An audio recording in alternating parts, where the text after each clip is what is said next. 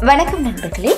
இந்த வீடியோவில் மெழுகுவர்த்தி பற்றிய சுவாரஸ்யமான கதைகளையே உங்களோடு பகிர்ந்து கொள்ள இருக்கிறேன். கிமு ஐநூறாம் ஆண்டு காலகட்டத்திலேயே ரோமானியர்கள் மெழுகுவர்த்திகளை தயாரிக்க தொடங்கியதாக ஆய்வுகள் தெரிவிக்கின்றன. ஆயிரத்தி எண்ணூற்று முப்பத்தி நான்காம் ஆண்டில் இங்கிலாந்தின் மான்செஸ்டர் நகரைச் சேர்ந்த யோசப் மோர்கன் என்பவர் மெழுகுவர்த்திகளை தயாரிப்பதற்கான இயந்திரத்தை கண்டுபிடித்தாராம். இந்த இயந்திரத்தின் மூலம் ஒரு மணி நேரத்தில் ஆயிரத்து ஐநூறு மெழுகுவர்த்திகளை தயாரிக்க முடிந்ததா? மின் விளக்குகளை கண்டுபிடிப்பதற்கு முன்பு இரவு நேரத்தில் ஒளியேற்ற மேற்கத்திய நாடுகளில் மெழுகுவர்த்திகள் தான் பயன்படுத்தப்பட்டனவா. உலகின் மிக நீளமான மெழுகுவர்த்தி முப்பத்தி ஒன்பது மீட்டர் நீளம் கொண்டது. இது ஸ்டாக்ஹோம் நகரில் உருவாக்கப்பட்டது என்றும் சொல்லப்பட்டிருக்கிறது. உலகின் மிகப்பெரிய மெழுகுவர்த்தி தயாரிப்பு நிறுவனமாக யாங்கி கேண்டில் நிறுவனம் இருக்கிறது.